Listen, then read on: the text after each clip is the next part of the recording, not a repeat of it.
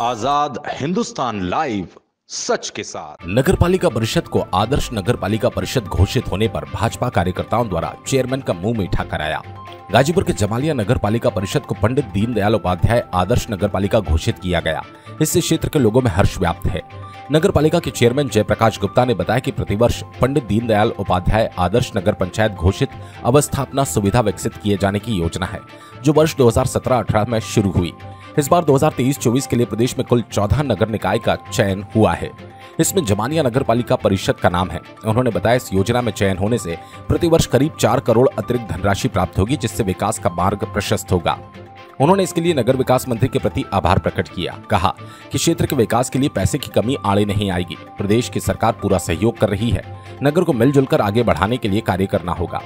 बताया जा रहा है कि नगर पालिका परिषद को आदर्श नगर पालिका घोषित होने के मंगलवार को पालिका कार्यालय पहुंचकर भारतीय जनता पार्टी के नगर मंडल अध्यक्ष अनिल कुमार गुप्ता के नेतृत्व में किसान मोर्चा अध्यक्ष जितेंद्र यादव, वार्ड सभासदों ने चेयरमैन जयप्रकाश गुप्ता को मिठाई खिलाकर बधाई दी।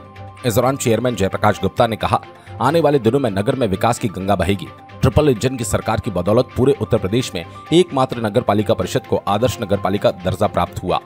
उन्होंने कहा, अभी ये शुरुआत है। आने वाले समय में और बहुत से प्रयास किए जाएँगे, जिससे नगर का विकास कार्य हो।